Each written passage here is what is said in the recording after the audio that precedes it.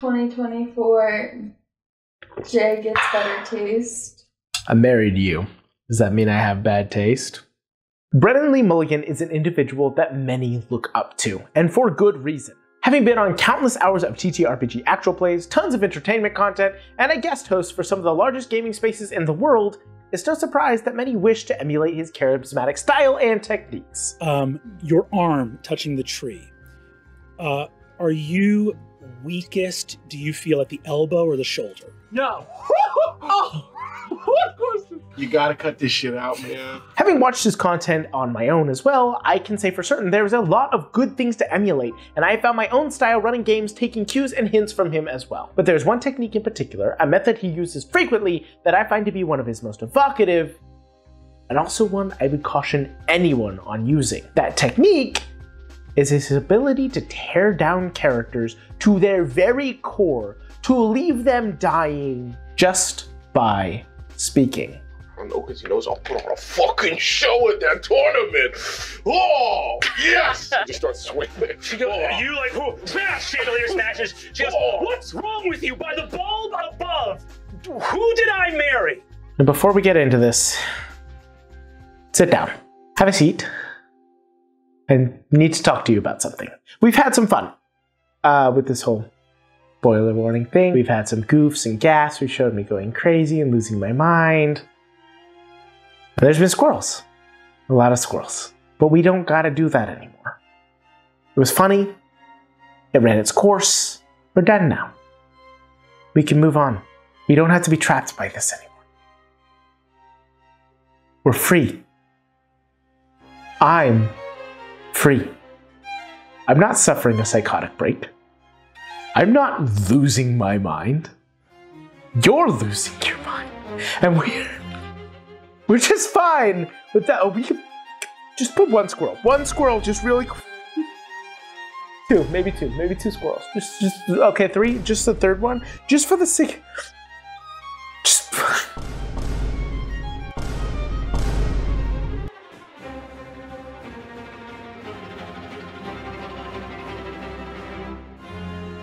There is no war, Ba Sing Se. There, perfect. Topical reference. Everyone will get it. Now, what do I mean by tearing characters down to their core? Well, I've already shown one example.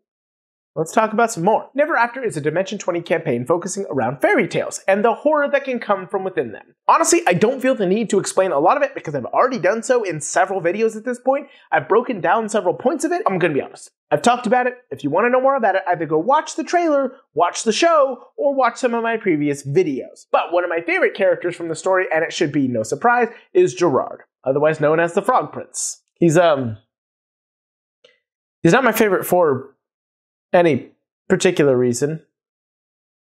I just kind of like frogs. What about frogs? I like frogs.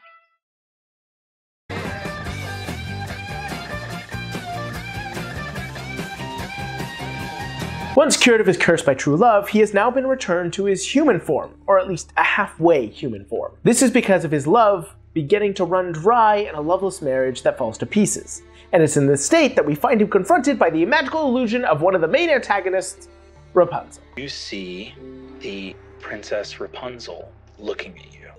You're a prince. Friends are probably pretty expendable, right? How many friends have you really had other than Elodie? I mean, uh, overall, not not very many, but Your friends seem to really value you as a person. I'm, I'm sure it's a comfort to know that they're not just sort of putting up with you because you'll tag along and swing your sword, prove a little bit useful. I, I like to think that we have a um a rapport. I'm not sure what your plans are. I was hoping to get an image of you up to some kind of scheming rather than hiding from a bird in the edge of a lake. But I suppose I can't be too surprised. I have seen some titanic feats of strength from my companions the Beast, Cinderella, Snow White. Truly impressive acts of heroism. I do not think I have seen any of my sisters strain more greatly than the Princess Elodie to find something kind to say about you. Yes. Gerard, what do you think the odds are that it got into Elodie's head that the virtuous thing to do was to fall in love with a cold and slimy frog, and that every kindness she has paid you in your life has been a testament to her charity rather than anything about you that would bring her joy? I don't know that I can answer that.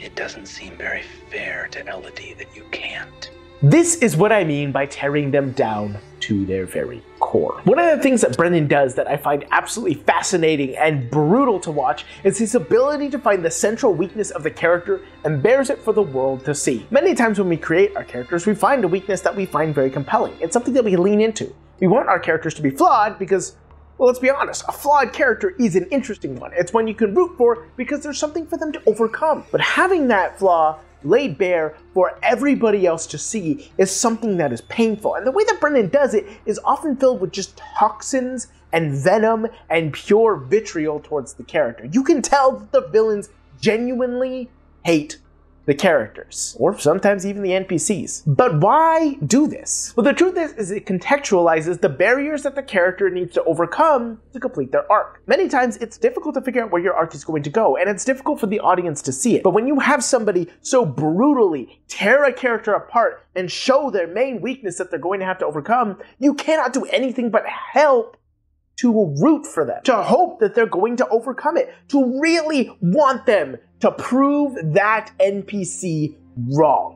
This is, without a doubt, one of the strongest strengths of this technique. It is really incredible how much it makes you root for the character because you hate seeing somebody down like that, especially played by somebody who we genuinely want to care for and root for. So when this happens, all we want to see is them overcome and prove wrong what they have been told. And yes, he does this more frequently than one might think, and he accomplishes more than just contextualizing with it. Sometimes the most terrifying thing that can happen in a story is to feel seen by the story. To read it, watch it, experience it, and realize that someone sees past the act that you put on every single day. They see you. They see what you think. They see what you feel. Most importantly, they see what you fear about yourself. You not telling me makes sense. Your sisters probably had a plan when they were alive, and when they were dead, you would probably be too scared to figure out what to do. So, like a child, you just thought it would go away on its own. Lazuli not telling me that, that hurts. Because Lazuli I loved with all my heart. And this is just politics. Uh, I suppose you're glad, at least in part, that war is coming and you'll have something to do again. I'm gonna be better. What does that mean? I don't know. Amathar the Unfallen. Let's see if Candia can earn the same title. Uh, and she walks out of the room. Sometimes it is far more frightening to be seen than any monster, any killer, or any curse could be. One of the most incredible moments of this happening is when Brennan wasn't even on Dimension 20. No, instead, it's when he guest DM'd in the Exandria Unlimited series or on Critical Role, Calamity. In this story, well, he tells the story of how a bunch of people die. I don't think it's a spoiler warning because if you like Critical Role, you knew that. They were telling the story of how the world went to hell. Quite literally. And so most of the characters were meant to die. and festering wounds from schisms long since past. Surely they knew a distant future reckons. Surely they heard the howl of the calamity. How could they? The wheel must always spin, its gilded fulcrum rotting from within.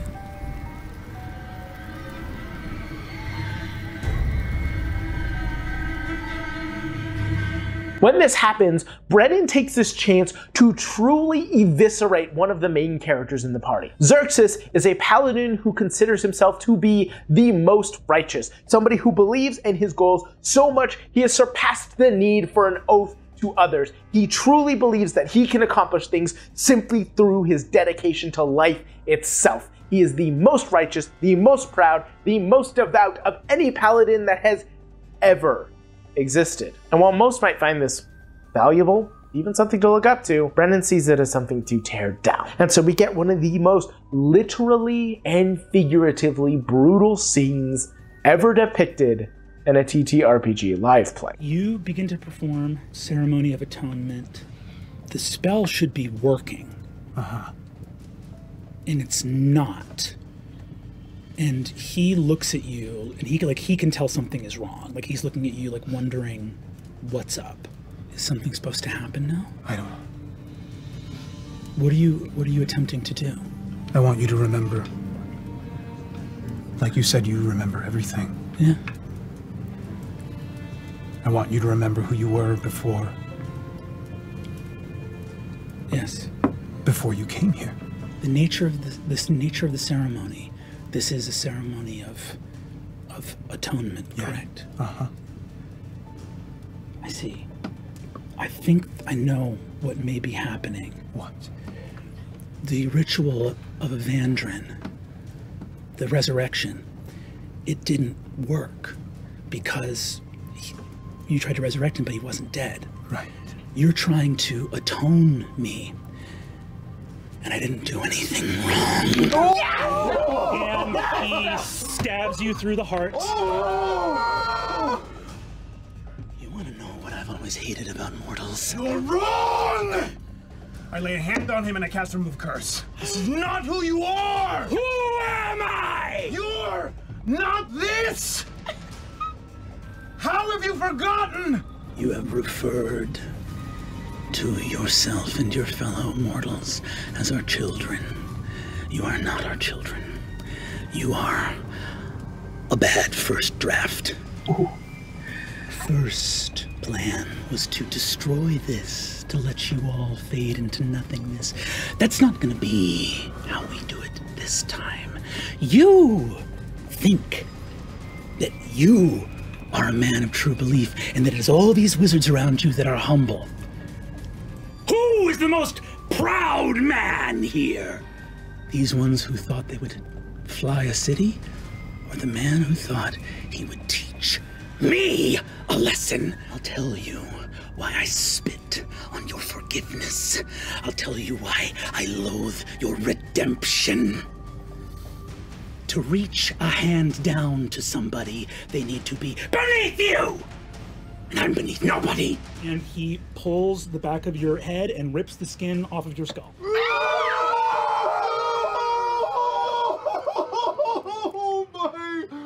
Now, there's a lot that happens in this scene. One, I mean, he literally reached behind the character's head and tore the skin off of his face. That's just kind of hard to get around. But it's the things that are said before this that truly make this such a brutal moment. He tears down what Zerxus believes, that Zerxus believes that this individual needs redemption. He spits in the face of redemption. Zerxus believed in true redemption. He insisted that the world could be saved. He believed that anyone was capable of redemption and grace. And this character looked him in the eye and said, Who are you to believe yourself so prideful that you could save anyone?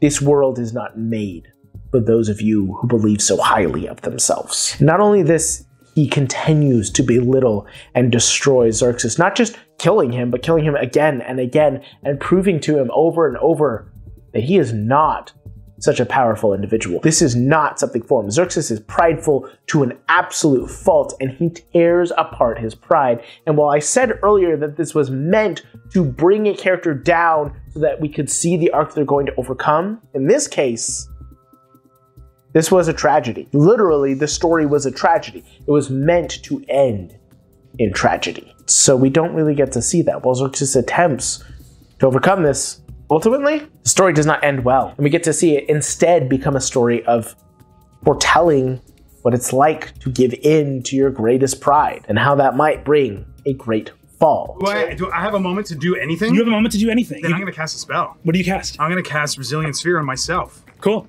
Um, he counterspells it with a ninth level spell slot and um, and smashes you into the floor and breaks your spine. He heals. He heals you again and. He just keeps stimulating. Were you you again? That was the coolest shit. He Oh, he breaks your spine, heals you, raises you back up, casts time stop again. I just want to remind everybody. Really quick. Really quick. Yeah. When I get when I get in between the time stops, buddy. Just just let a girl know, like. No, no, he casts the second time stop in the first time stop. Oh, he- he exceptionally time stop. Okay. He exceptionally time stop. He exceptionally time stop. Double time stop. Another great use of this technique. It really is powerful. It is narratively intriguing and so fun to watch, but it is not something for everybody to use. But in order to describe why it's not something for everybody to use, we first have to describe exactly why Brennan does it. I've explained that it does create this moment for the characters to overcome, but it does more than that. It literally leaves no direction for the characters to go but up. Many times in our games, it's difficult to give the characters a direction to go to overcome their own difficulties. It's difficult to give the players a path to become the heroes because it's really understandably hard to play the hero. It's really difficult to know that you're doing the right thing. So when you tear somebody down this harsh and leave their weaknesses out to bear, the player knows exactly what they must do to overcome it. They must overcome this weakness, they must do better, they must rise up, they must face the occasion, they must become anew. They must change for the better. That's why Brennan does this. It gives the characters such a clear path, and it allows the characters to know with no uncertain terms the battle that they must fight, not physically, but internally. And they know what the dungeon master expects from them. They know what the player expects from them. Essentially, it puts everybody on the exact same page. Now, this being said, I stated in the beginning that this is not something to do without using extreme caution. So why? Well, the truth is, is you risk harming the player, not just the character, but the player. By doing something like this, you are going after a character they've created that inevitably has a portion of themselves in the character. And by striking such a weakness, you may be striking the same weakness of the player in a visceral way meant to harm. That's dangerous. Doesn't matter if you're playing TTRPGs or not, doing something like that to somebody is dangerous. So this must be something that is discussed beforehand. You cannot do this without at least being on the same page as the player. But at the same time, you also risk railroading what the player must do. If you tear them down like this, they feel like they only have one direction to go. They now need to overcome this flaw that they may not have even intended to do. And now, I mean, they feel like their character has to do something to redeem themselves. What if that's not something they wanted to do? What if that was not the direction they intended? It becomes far more difficult. That's the case. But even worse is the third reason this is dangerous. You risk never giving them a payoff. Imagine taking this character, tearing them down to their core, and not running a tragedy such as Exandria Unlimited Calamity. Maybe there's supposed to be an ending, but at the end, the character never gets to face that weakness. Now their story feels incomplete, and the character feels terrible, and the player feels terrible. It's a beatdown with no comeuppance. The villain just tore them down, and they never get to feel like they come out as the hero, just as somebody who maybe survived harm. Which some people might want to tell that story, but many people do not. And maybe the player comes out feeling the same way. That's why this technique is dangerous. It revolves around needing perfect communication with your DM, which is fine. That's something that everybody should have, but not everybody does. Communicating with your DM is one of the most important things about playing these games in the first place. But communication is hard. Some of us are antisocial. Some of us don't know how to communicate properly. Some of us are still learning. And that's why you should not imitate the people that you see on actual plays. Because they're playing in front of cameras. They're playing with the intention of creating an interesting story. And it's fun. I love talking about it. It's not something that you have to do, though. We've told a story of the coming of a time of darkness, the coming of calamity, of shadow and fire and ruin. The purpose of playing is for us to connect with each other, to enjoy talking with each other, to enjoy playing a game and creating a story, to connect with the people at your table. That should be your priority, not imitating the cool thing that you saw happen. Is it a good thing to do? Of course, in the same way that imitating a powerful or amazing sports individual is. Sports individual, really? Is the nerdiest way I could have referred to that. Regardless, it's not a bad thing to imitate people who are good at their craft, but you are not them. That's typically not why people are indulging in hobbies. They're doing so to connect, to enjoy, to have something that brings them joy for that sake. So do that. And you can still learn and create incredible stories, but make sure you're being safe while doing so. Why do we tell stories? To try to make sense of a world that can be terrifying and enormous. In Exandria, I don't know that your story will long be known. I don't know who will remain to tell it. But it did happen, and it did matter. And though calamity is here because of you, it will not be here forever.